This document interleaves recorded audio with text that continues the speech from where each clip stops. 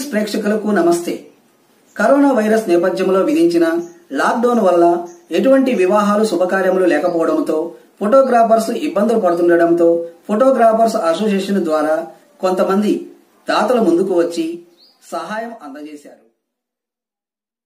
ప్రకాశం జిల్లా కనిగిరిలోని photographers lockdown వల్ల ఎటువంటి శుభకార్యములు వివాహాలు లేనందున వారు ఇబ్బందులు పడుతుండటంతో కనిగిరి ఫోటోగ్రాఫర్స్ అసోసియేషన్ ఆధ్వర్యంలో స్థానిక శాసనసభ్యులు బుర్రా మధుసూదన్ యాదవ్ కేటీఆర్ విద్యాసంస్థల అధినేత కుందూరు తిరుపతి రెడ్డి దేవకి వెంకటేశ్వర్లు లాయర్ అబ్దుల్ గఫూర్ దద్దాల నారాయణ కాసుల గురవయ్య తదితర దాతలు అసోసియేషన్కు సహకారం అందించి ముప్పై మంది ఫోటోగ్రాఫర్స్కు ఇరవై ఐదు కేజీల బియ్యం కందిపప్పు నూనె గోధుమ పిండి కూరగాయలు తదితర నిత్యావసర సరుకులను పంపిణీ చేశారు. ఫోటోగ్రాఫర్స్ అసోసియేషన్ సభ్యులు చందన షరీఫ్ గుంటూరి ప్రసాద్ గుంటూరి కృష్ణ ఆచారి నేతాజీ శ్రీను సహజ రవి సాయి తదితరులు తమకు సహకారం అందించిన దాతలకు కృతజ్ఞతలు తెలిపారు.